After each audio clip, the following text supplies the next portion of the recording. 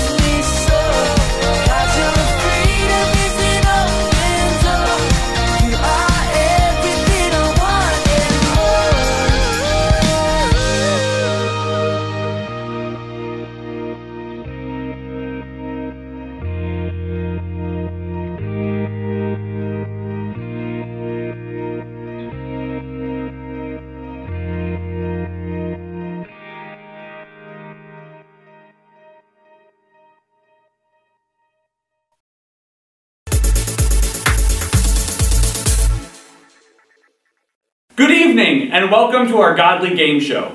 I'm Pastor JJ, and I know I am no Miss Tucha. She is amazing. She is so much fun, and she's such a great teacher. But she's getting a couple of weeks off, so I will be your host for the Godly Game Show for the next couple of weeks. And on tonight's episode of the Godly Game Show, we have two guests Miss Christina and Miss Sandy. Hi, all. Hello, hello. How are you guys doing? Good, how are you? Great, great. Are you ready for a very difficult question? No. No, not ready. Christina's not ready. Well, this week we are asking who wrote the words in the Bible? God. Really? That is true. But do you think that God like wrote down with his hand with like a pen and a paper?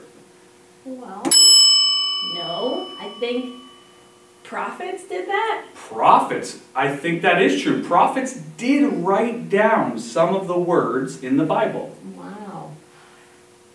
How about somebody like the disciples? Like the disciples of Jesus. Right. They did write a lot of the words in the Bible. This is true. Anybody else? Who who else do you think wrote some of the words in the Bible? I think some kings might have. That's true too. Luke. I think that's a prophet though too. Luke is not a prophet. Luke is actually one of the disciples of oh. Jesus. And Luke was a physician. He was a doctor. He was oh. also, and this is really cool, Luke was somebody who loved stories. And he loved history especially. So when he tells us and writes stories in the Bible, he's very careful. He remembers every little detail because oh. he wants people to believe and know that this story is so true. It's like when you're telling a story to your friend and you you you just remember because it was so personal to you that you're able to remember every detail. What you ate for breakfast, you know, what color shirt you were wearing, um, you know, where you went that day to the grocery store, what you ate for lunch over and over again. Luke was really careful about those details. That's crazy. I didn't know that. Yeah. I, I had no idea. Me either. Well, that's that's what is it, is so cool about the Bible, and it's so cool about the stories in the Bible is that they're all written by different people. So there were more people than just Luke? So many more people. So yeah, Well, I Miss think, I think John wrote some. John did write some. Yeah, I've heard of I John. remember, yeah, I, I think John Yeah, did. there are countless people who wrote stories in the Bible, and that's the answer to our question of who wrote the words in the Bible. But we know that God is the one who gave all those people the words. And we know that all of these people are very different. Luke is very different than a prophet. John is very different from a king, like King Solomon. Do you guys know who King Solomon is? Yes. Mm-hmm. Yeah? And King David. And King David. King David. Do you, here's another question for our Godly Game Show. What kinds of words did King David write in the Bible? Praise and songs. Very good. King David was a songwriter. Yes. Smart. Yeah. Wow. He wrote songs about how awesome God is. All right, one more question for tonight's Godly Game Show. I think you're beating me, Sandy. Pressure. What kind of stories or information or words did King Solomon write? I know it.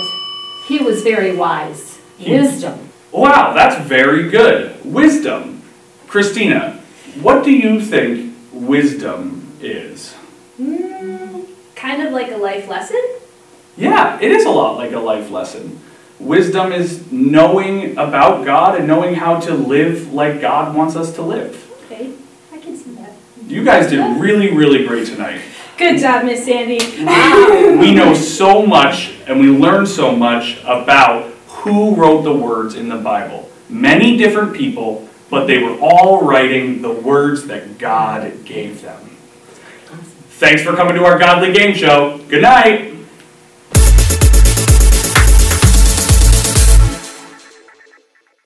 Hey, Wild Wednesday kids, Pastor Doug in the house, literally in your house right now.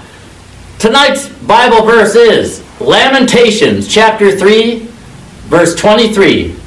His great love is new every morning. Lord, how faithful you are. It reminds me of a great hymn we used to sing. Great is thy faithfulness. Praise the Lord. Later. Hi guys, we're going to be going into our science and during science you will see Bob and Sandy and how they make a hand. Hello, welcome to week 16 of Wild Wednesdays. Get your packet out that says 16, and you- in it, you're gonna find a hand with these strings hanging off of it. And you're gonna find some little pieces of straws cut, so take those out and spread them out. And you're gonna need your scotch tape, very important.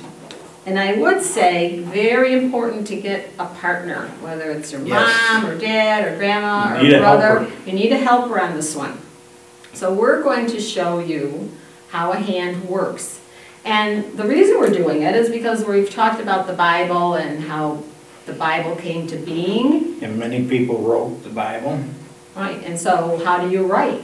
You write with your hand. You have to use You your need your fingers in your hand so you can grab things, grip things. So we're going to um, not do the entire project because it takes kind of a long time. So we're going to just show you um, how we've done it. So you're going to take your tape and you're going to cut off a piece that's like, oh, maybe an inch or inch and a half, something that will cover the straw. And then what you're gonna do is take your straw and you're gonna feed your yarn through the straw down. Now, as you can see, we've already done where we have the tips of the fingers are in there. So you're gonna come down to the bottom of the finger, okay? Roughly around the bottom of the finger, and this is where you gotta have your partner. Because you're gonna have to hold the string and hold that in place while your partner tapes the straw down.